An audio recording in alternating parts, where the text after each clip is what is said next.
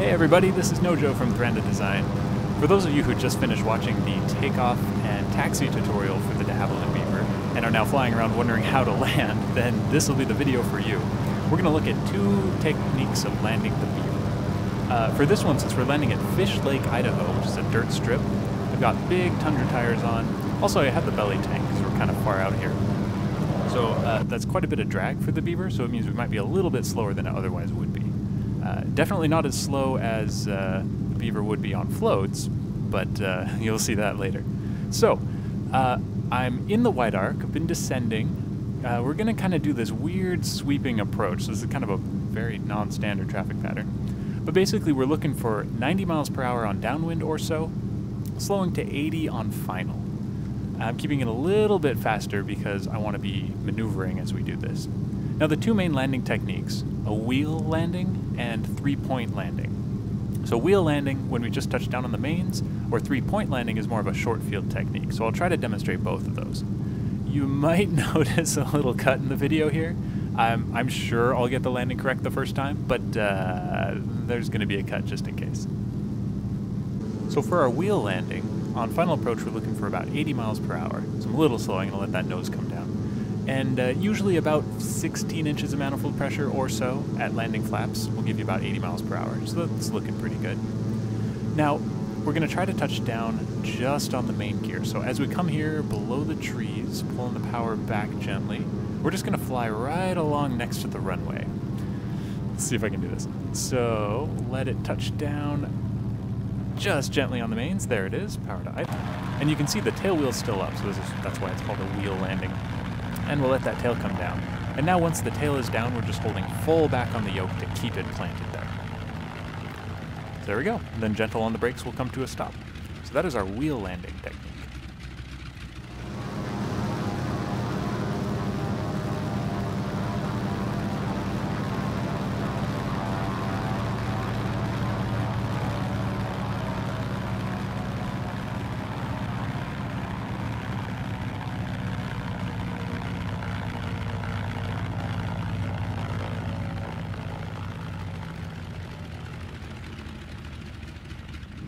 Alright, now for the three-point landing, this is more of a short field landing technique. We're looking for 65 to 68 miles per hour on final.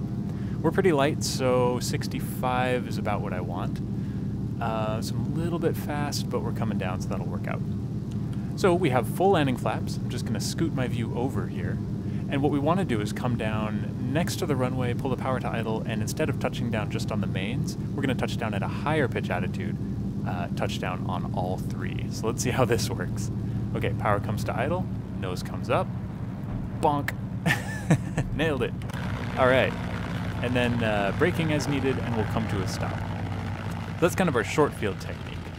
And make sure, uh, as they say, the landing only is complete once you come to a stop. Make sure you're still working those rudder pedals, otherwise it's possible to ground loop the plane.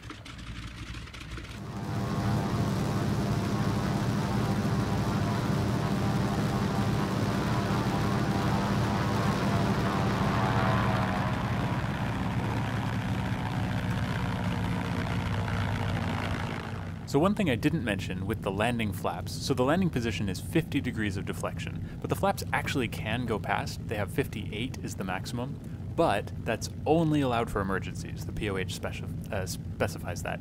And here you can see a placard, use of flap settings greater than landing is not permitted. So while they will go further, uh, they're not allowed to.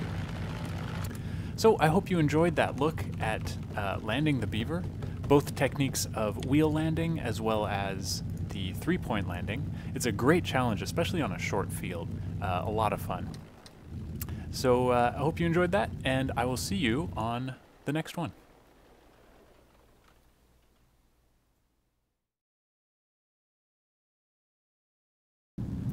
Okay, gonna move the view to the side. Hold it off. Oops. Oh, uh, power comes to idle. Scoot my view over. Oops. Ah, I touched a little too early. Dang